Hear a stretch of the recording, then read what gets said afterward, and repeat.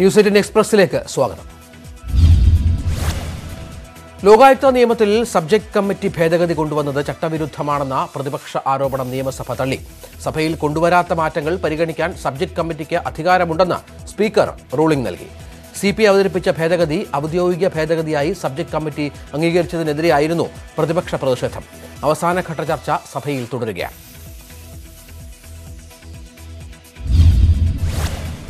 സംസ്ഥാനത്ത് അതിശക്തമായ മഴ ഇന്നും തുടരും. ആറു ജില്ലകളിൽ ഓറഞ്ച് അലർട്ട് പ്രഖ്യാപിച്ചു. പത്തനംതിട്ട ആലപ്പുഴ കോട്ടയം ഇടുക്കി എറണാകുളം തൃശൂർ ജില്ലകളിലാണ് ഓറഞ്ച് അലർട്ട്.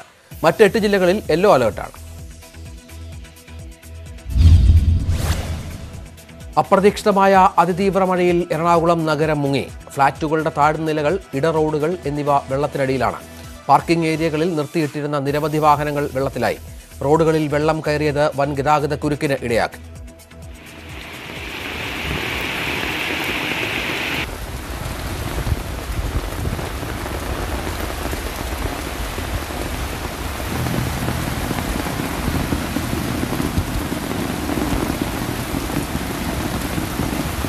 പോവില്ല.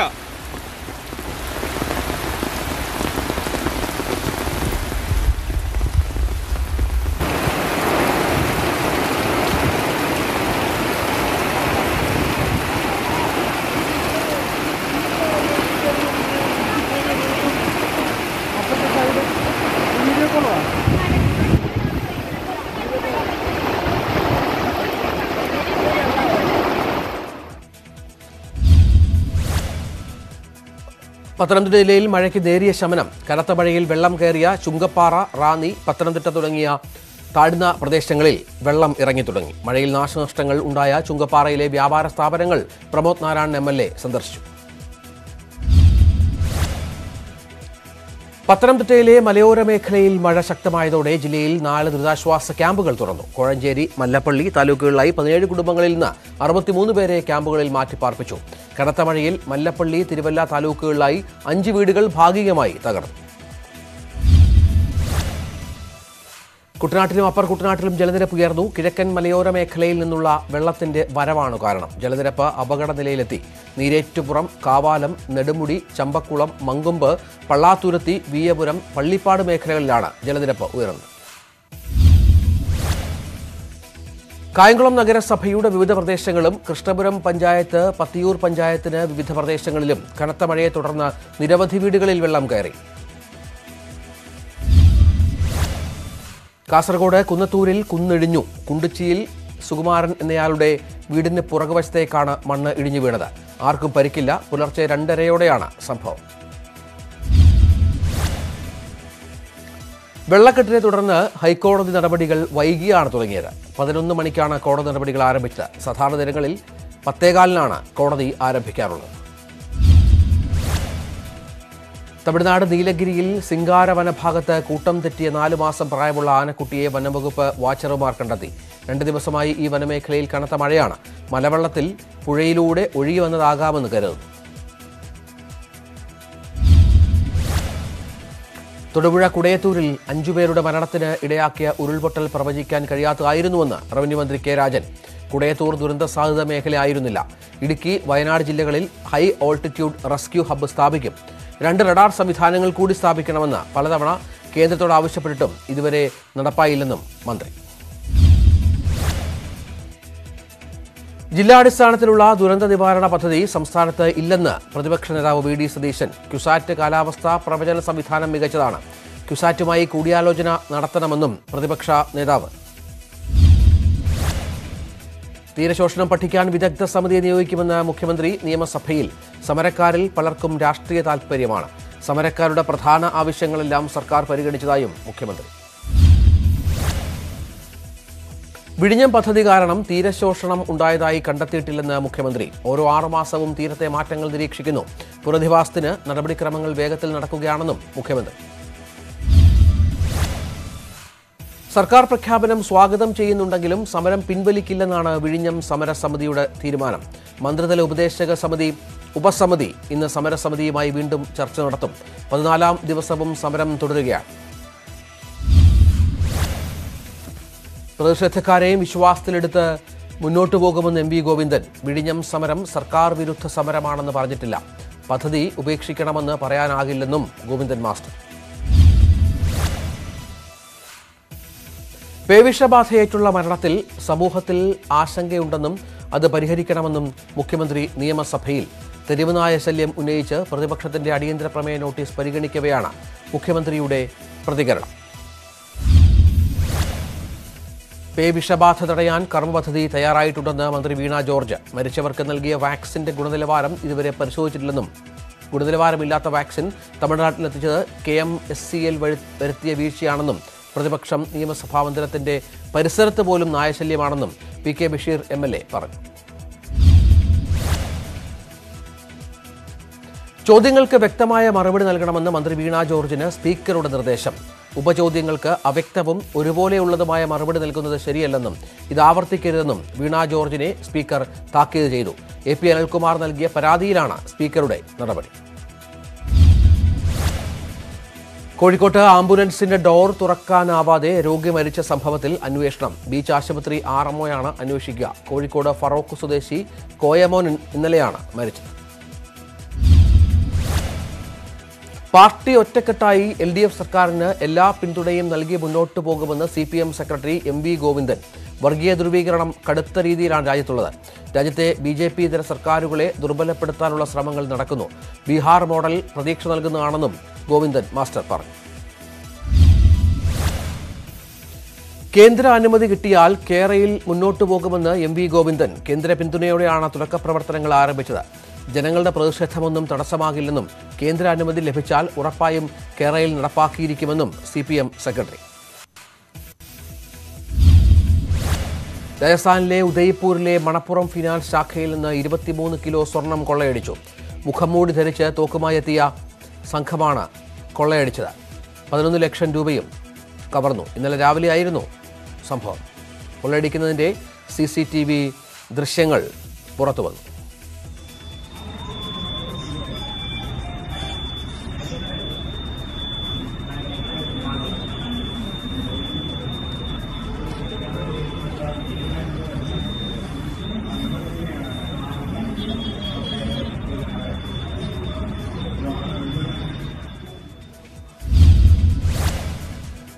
രണ്ടായിരത്തി രണ്ടിലെ ഗുജറാത്ത് കലാപവുമായി ബന്ധപ്പെട്ട ഒരു കൂട്ടം ഹർജികളിലെ നിയമ നടപടികൾ അവസാനിപ്പിച്ച് സുപ്രീം കോടതി ദേശീയ മനുഷ്യാവകാശ കമ്മീഷന്റെ അടക്കം പതിനൊന്ന് അപേക്ഷകളിലാണ് നടപടി.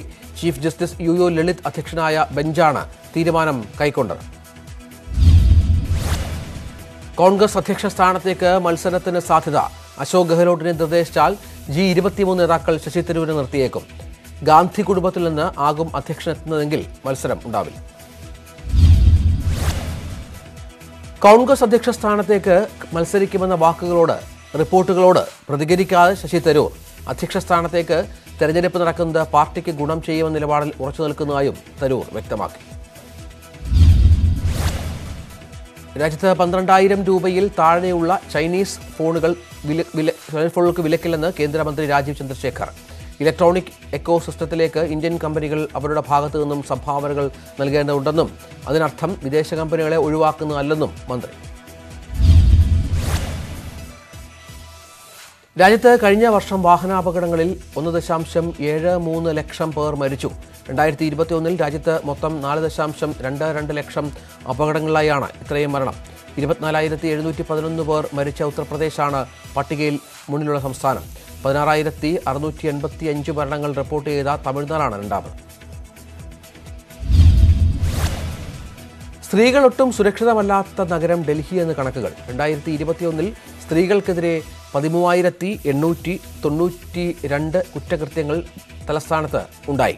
രണ്ടായിരത്തി ഇരുപതിനെ അപേക്ഷിച്ച് നാൽപ്പത് ശതമാനത്തിന്റെ വർധനവാണ് സ്ത്രീകൾക്ക് നേരെയുള്ള കുറ്റകൃത്യങ്ങൾ ഉണ്ടായിരിക്കുന്നത്. നാഷണൽ ക്രൈം റെക്കോർഡ്സ് ബ്യൂറോയുടെ പുതിയ റിപ്പോർട്ടിലാണ് ഈ കണക്കുകൾ. ഇന്ത്യയിൽ കുട്ടികൾക്കെതിരായ അതിക്രമങ്ങൾ വർദ്ധിക്കുന്നു. കുട്ടികൾക്കെതിരെ ഒരു ലക്ഷത്തി നാൽപ്പത്തി ഒൻപതിനായിരത്തി നാനൂറ്റി നാല് കുറ്റകൃത്യങ്ങളാണ് രണ്ടായിരത്തി ഇരുപത്തിയൊന്നിൽ രേഖപ്പെടുത്തിയത്.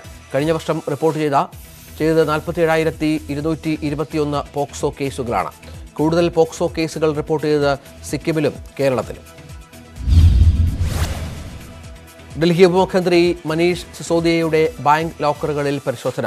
ഗാസിയാബാദ് സെക്ടർ നാലിലെ പഞ്ചാബ് നാഷണൽ ബാങ്കിലെ ലോക്കറിലാണ് പരിശോധന. ഡൽഹി എക്സൈസ് കേസുമായി ബന്ധപ്പെട്ടായിരുന്നു നടപടി.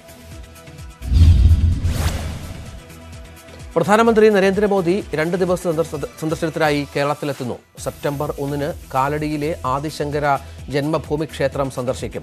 രണ്ടിന് കൊച്ചിയിൽ ഷിപ്പ്യാർഡിൽ നിർമ്മിച്ച വിമാനവാഹിനി കപ്പലായ I N S Vikrant commission ചെയ്യും. തൃണമൂൽ കോൺഗ്രസ് നേതാവ് അഭിഷേക് ബാനർജിയെ ഇ ഡി വീണ്ടും ചോദ്യം ചെയ്യും. കോൾ അഴിമതിയുമായി ബന്ധപ്പെട്ടാണ് ചോദ്യം ചെയ്യൽ. സെപ്റ്റംബർ രണ്ടിന് കൊൽക്കത്തയിലെ ഓഫീസിൽ ഹാജരാകാൻ ആവശ്യപ്പെട്ട് നോട്ടീസ് നൽകി. വിനായക ചതുർത്ഥി ആഘോഷത്തിനെതിരെ കർണാടക ഹൈക്കോടതിയിൽ ഹർജി. ഗണേശ ചതുർത്ഥി ആഘോഷങ്ങൾ ഈദ്ഗാഹ് മൈതാനത്ത് നടത്തുന്നതിനെതിരെയാണ് ഹർജി. കേന്ദ്ര ആഭ്യന്തരമന്ത്രി അമിത്ഷാ ഡൽഹി പോലീസ് ഉദ്യോഗസ്ഥരുമായി കൂടിക്കാഴ്ച നടത്തി. ഡൽഹി പോലീസ് ആസ്ഥാനത്തായിരുന്നു കൂടിക്കാഴ്ച. കേന്ദ്രവുമായി ഡൽഹി സർക്കാരിന്റെ തർക്കം രൂക്ഷമായിരിക്കെയാണ് കൂടിക്കാഴ്ച. ഒറ്റയ്ക്ക് താമസിക്കുന്ന വൃദ്ധ സ്വന്തം സുരക്ഷയ്ക്കായി വീട്ടുവാതിലിൽ നൽകിയ വൈദ്യുതി കണക്ഷനിൽ നിന്ന് ഷോക്കേറ്റ് മരിച്ചു. വൈദ്യുതി ബന്ധം വിച്ഛേദിക്കാതെ വാതിൽ തുറക്കാൻ ശ്രമിച്ചപ്പോഴാണ് അപകടമുണ്ടായത്. തമിഴ്നാട് മയിലാടുംതുറയിലാണ് സംഭവം. പാകിസ്ഥാനിൽ പ്രളയ ദുരന്തം രൂക്ഷം പത്തു ലക്ഷം കോടി അമേരിക്കൻ ഡോളറിന്റെ നാശനഷ്ടമാണ് ഉണ്ടായതെന്ന് നിഗമനം. രാജ്യത്തിന്റെ മൂന്നിലൊന്ന് ഭാഗവും പ്രളയബാധിതമാണെന്ന് സർക്കാർ അറിയിച്ചു. പ്രളയത്തെ നേരിടാൻ അന്താരാഷ്ട്ര നാണ്യനിധി ഒന്ന് ദശാംശം ഒരു ലക്ഷം കോടി അമേരിക്കൻ ഡോളർ അനുവദിച്ചിരുന്നു. തെക്ക് പടിഞ്ഞാറൻ ചൈനയിൽ പ്രളയഭീതി ഉണർത്തി കനത്ത മഴ. സിച്ചുവാങ് അടക്കം ചൈനയുടെ തെക്ക് പടിഞ്ഞാറൻ പ്രദേശങ്ങളിൽ ഞായറാഴ്ച മുതലാണ് മഴ കനത്തത്. ചൊവ്വാഴ്ച വരെ മഴ തുടരുമെന്ന് പരിസ്ഥിതി മന്ത്രാലയം അറിയിച്ചു. ബാഗ്ദാദിൽ കലാപം രൂക്ഷം ഇറാഖ് സുരക്ഷാ സേനയും ഷിയ പണ്ഡിതൻ മൊക്താദ അൽ സദറിന്റെ അനുകൂലികളും തമ്മിലുണ്ടായ ഏറ്റുമുട്ടലിൽ പതിനഞ്ചോളം പേരാണ് കൊല്ലപ്പെട്ടത്. നിരവധി പേർക്ക് പരിക്കേറ്റു. സദറിന്റെ അനുകൂലികൾ രാഷ്ട്രപതിയുടെ കൊട്ടാരത്തിലേക്ക് അതിക്രമിച്ച് കയറാൻ ശ്രമിച്ചതാണ് സംഘർഷം രൂക്ഷമാക്കിയത്. വിമാനം പറന്നുയർന്നതിന് പിന്നാലെ കോക്പിറ്റിൽ കയ്യാങ്കളി നടത്തിയ രണ്ട് പൈലറ്റുമാരെ സർവീസിൽ സസ്പെൻഡ് ചെയ്ത് എയർ ഫ്രാൻസ് വിമാന കമ്പനി ജനീവയിൽ നിന്ന് പാരീസിലേക്കുള്ള യാത്രാമധ്യേ ജൂണിലായിരുന്നു സംഭവം. ജൂണിൽ നടന്ന സംഭവത്തിന്റെ അന്വേഷണമാണ് ഇപ്പോൾ പൂർത്തിയാക്കിയതെന്ന് എയർ ഫ്രാൻസ് അധികൃതർ അറിയിച്ചു. യു എൻ രക്ഷാസമിതിയിൽ ആഫ്രിക്കയ്ക്കായി ശബ്ദമുയർത്തി ജപ്പാൻ. രക്ഷാസമിതിയിൽ പ്രാതിനിധ്യം നൽകാതെ ആഫ്രിക്കയെ അവഗണിക്കുന്നത് കണ്ടിൽ നടിക്കാനാവില്ലെന്ന് ജാപ്പനീസ് പ്രധാനമന്ത്രി ഫൂമിയോ കിഷിദ പറഞ്ഞു. നാസയുടെ ആർട്ടമസ് ഒന്ന് വിക്ഷേപണത്തിൽ ആശങ്ക. കൗണ്ട് ഡൗൺ നിർത്തിവെച്ചു. ഹൈഡ്രജൻ നിറയ്ക്കുന്നതിൽ ചോർച്ചയുണ്ടായെന്ന സംശയത്തെ തുടർന്നാണ് കൗണ്ട് ഡൗൺ നിർത്തിവെച്ചത്.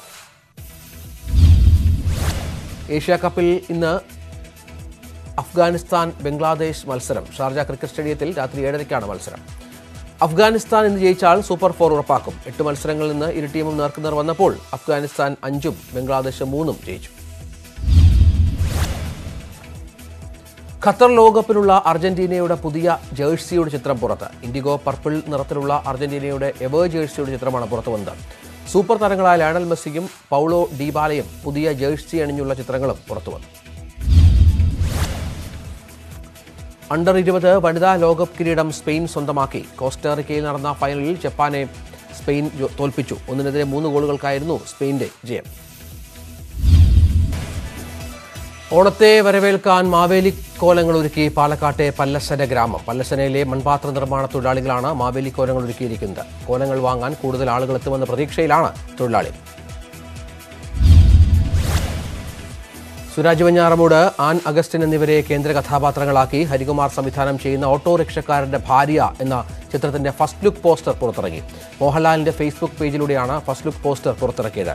എഴുത്തുകാരൻ എം മുകുന്ദൻ ആദ്യമായി തിരക്കഥ എഴുതുന്ന ചിത്രം കൂടിയാണ് ഓട്ടോറിക്ഷക്കാരന്റെ ഭാര്യ. ന്യൂസ് എയ്റ്റീൻ എക്സ്പ്രസ് പൂർണമാകുന്നു. നമസ്കാരം.